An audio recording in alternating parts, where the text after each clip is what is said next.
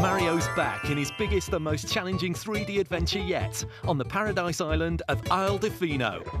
Now president of the Mushroom Kingdom, Mario has been accused of covering the beautiful place with graffiti.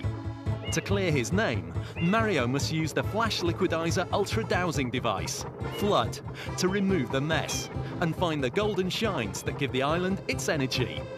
Mario's FLUDD will enable you to squirt water, hover over perilous drops, and blast high into the air.